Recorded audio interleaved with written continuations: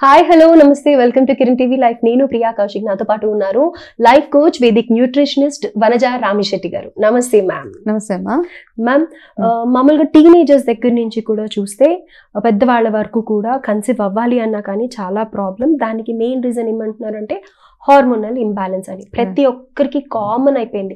ఇంతకు ముందు అసలు టీనేజర్స్లో ఎవరో ఒక్కళ్ళకి ఇద్దరికి వినేవాళ్ళం. ఉమ్, కానీ ఇప్పుడు ప్రెగ్నెన్సీ రావట్లేదు అని అంటే మీకు హార్మోనల్ ఇంబ్యాలెన్స్ ఉందేమో. వెయిట్ పుట్ ఆన్ అయ్యారు. సో ఇదే రీజన్ చెప్తున్నారు.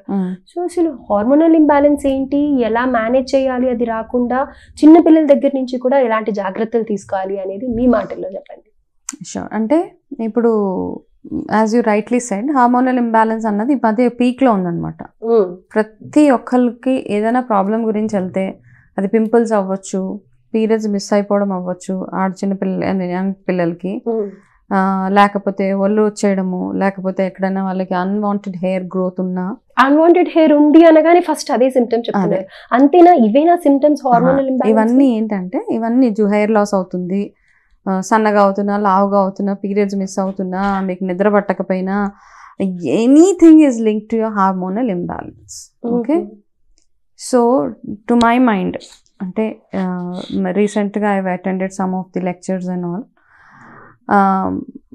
నేను ఈ చిన్న చిన్న ప్రోగ్రామ్స్కి వాటికి అటెండ్ అవుతూ ఉంటాను where the lot of people come across the globe వచ్చి we keep sharing our views and opinions అనమాట ఒక్కొక్క ఇష్యూ గురించి. ఓకే అందులో one common thing which has come up is ఈ హార్మోనల్ ఇంబ్యాలెన్స్ అన్నది ఏంటంటే మనము we are giving too much of importance to that particular thing first thing ఇంకా అన్నిటికంటే ఇంపార్టెంట్ ఏంటంటే యాక్సెప్టెన్స్ ఇష్యూ ఇప్పుడు అనమాట అంటే నేను లావుగా ఉన్నాను.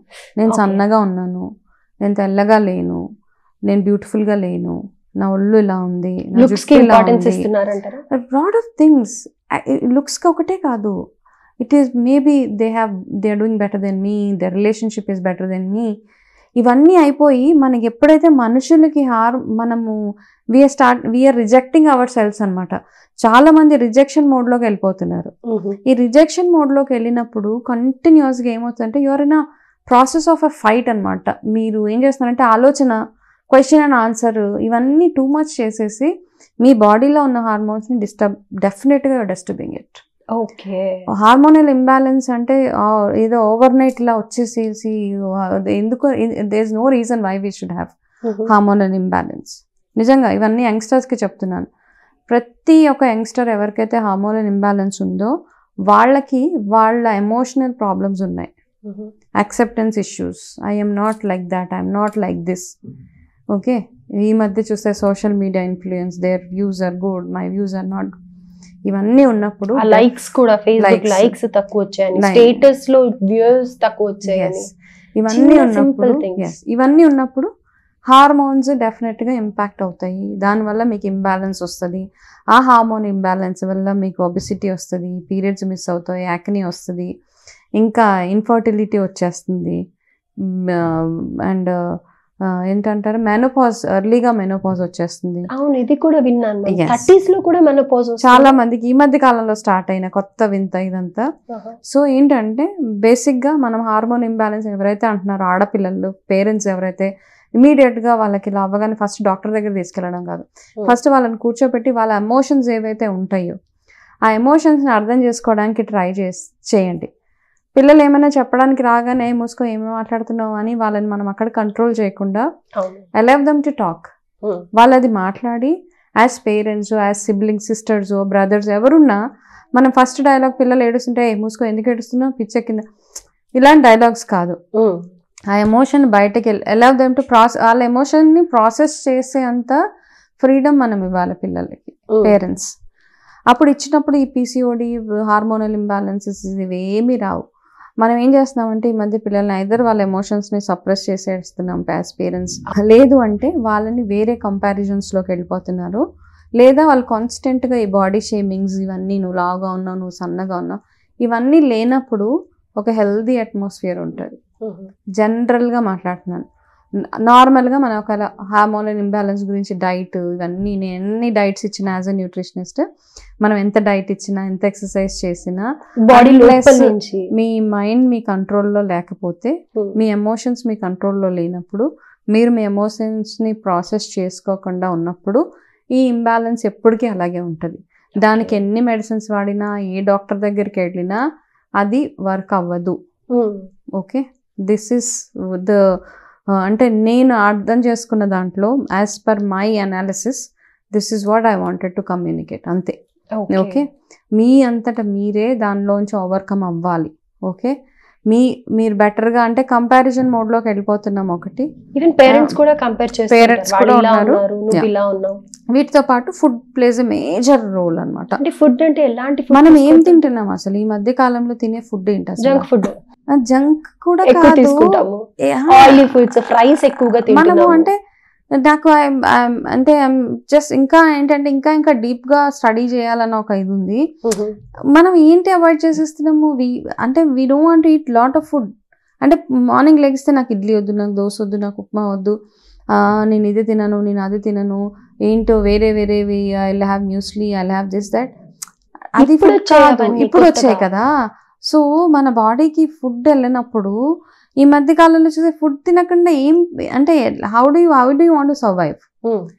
కదా ఫుడ్ వల్ల లావ్ అయిపోతున్నారు అన్నది ఇట్స్ అ మిత్ కంప్లీట్గా తినడం వల్ల అందరూ ఏది చూసినా కానీ వెయిట్ లాస్ అని కానీ లేకపోతే ఇంకా ఏదైనా ప్రాబ్లం కొలెస్ట్రాల్ ప్రాబ్లమ్స్ అని కానీ ఇలాంటివి చూసినప్పుడు మేజర్గా అందరు చెప్పేది ఏంటంటే మీ ఫుడ్ కంట్రోల్ చూసుకోండి ఫుడ్ ఏం తింటున్నారో చూసుకోండి రైస్ తింటే కనుక ఇలాంటి ప్రాబ్లమ్స్ కొంతమంది వైట్స్ తినొద్దని.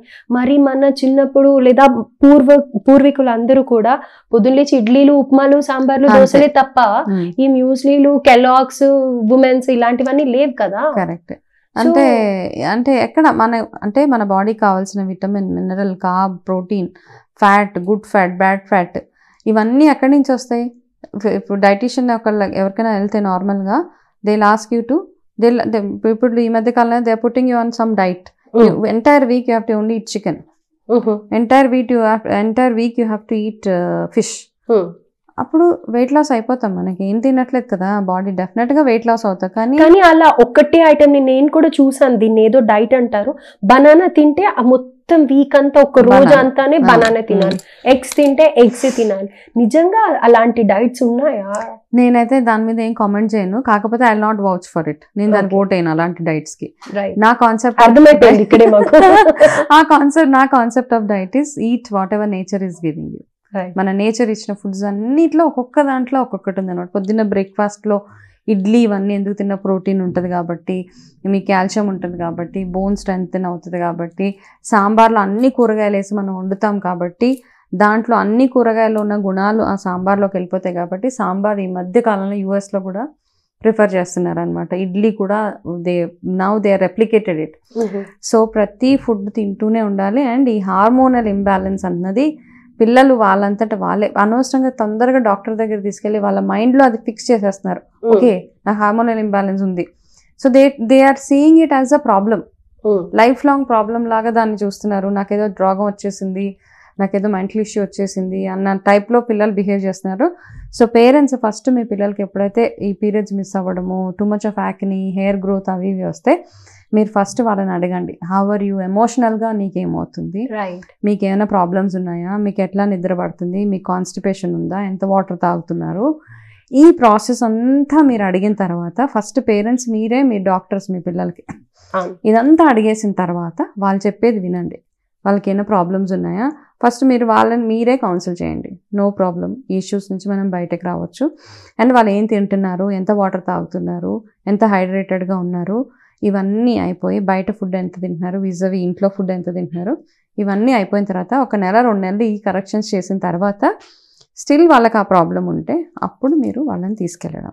రైట్ ఈ మధ్యకాలం ఇంకా ఇంకొక నెక్స్ట్ లెవెల్ ఏంటంటే ఈ మధ్యకాలం పిల్లలు మా పేరెంట్స్కి చెప్పకుండా పీరియడ్ స్టాప్ అవ్వడానికి టాబ్లెట్స్ వేసేసుకుంటున్నారు ఇది కూడా ఒకటి ఉందా? ఎస్ ఓకే పీరియడ్ స్టాప్ అయిపోతాయి ఏదో వాళ్ళు ఏదో ఒక ప్లాన్డ్ యాక్టివిటీ ఎక్కడికో వెళ్తారు ఏదో ఉంటుంది.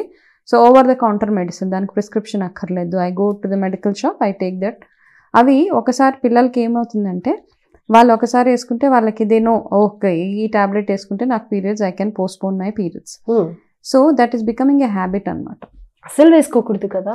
అది వేసుకోకూడదు. It is changing your hormones మొత్తాన్ని కంట్రోల్ చేసేస్తుంది కదా? ఓకే ఇట్స్ స్టాపింగ్ ఎవ్ యువర్ సైకిల్ నీ సైకిల్ పీరియడ్ సైకిల్ స్టాప్ చేస్తుంది అంటేనే you can understand how powerful that medicine is and దానివల్ల ఏం ఇంపాక్ట్స్ అవుతుంది ఫ్యూచర్లో సో ఇట్లాంటివి కూడా ఉన్నాయి ఇష్యూస్ కంటిన్యూస్గా సంవత్సరంలో అది ఎప్పుడో ఇయర్లో ఒకసారో మ్యారేజ్ ఉన్నప్పుడు తప్పని సిచ్యువేషన్ తప్పని సిచ్యువేషన్స్లో ఇలాంటివి ఉంటాయి.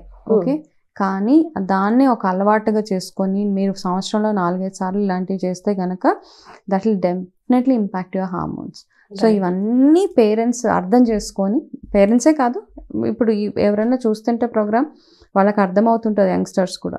ఈ కరెక్షన్స్ చేసుకుంటే లైఫ్లో మీకు హార్మోన్ ఇంబ్యాలెన్స్ గురించి మందులు వేసుకోవడం హార్మోన్ ఇంబ్యాలెన్స్ గురించి డైటీషియన్ దగ్గరికి వెళ్ళడము ఇవి ఉండకుండా ఉంటాయి. Okay just let's think logic అంతే.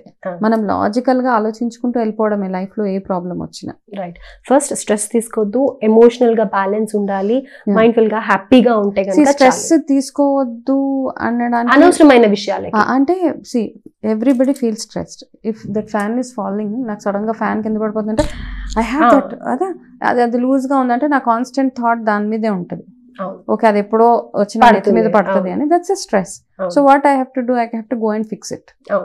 Fix చేసి రిలాక్స్డ్గా సో ఫస్ట్ ప్రాబ్లమ్ని ఫిక్స్ చేసి దాని మీదే వెయిట్ చేసి దాన్నే ఆలోచించుకుంటూ కూర్చుంటే మనకి డెఫినెట్గా we will have all these problems అనమాట సో హార్మోన్ ఇంబ్యాలెన్స్ నా వరకు నన్ను అడిగితే మాత్రం it's something which we can address our self దానికోసం పెద్ద పెద్ద ఇష్యూస్ అక్కర్లేదు అనిపిస్తుంది రైట్ డాక్టర్ దగ్గరికి వెళ్ళిపోయి కంగారు పడిపోయి పిల్లలకి స్ట్రెస్ ఇచ్చి వాళ్ళు స్ట్రెస్ ఫస్ట్ మనం హోంవర్క్ మనం చేసుకుంటాం. చేసుకున్న. తర్వాత మీరు అన్నట్టుగా టూ త్రీ మంత్స్ దాని. గురించి వర్కౌట్ చేస్తే కనుక. ప్రాబ్లమ్ సాల్వ్ అయిపోతుంది exactly thank you ma'am thank you. So much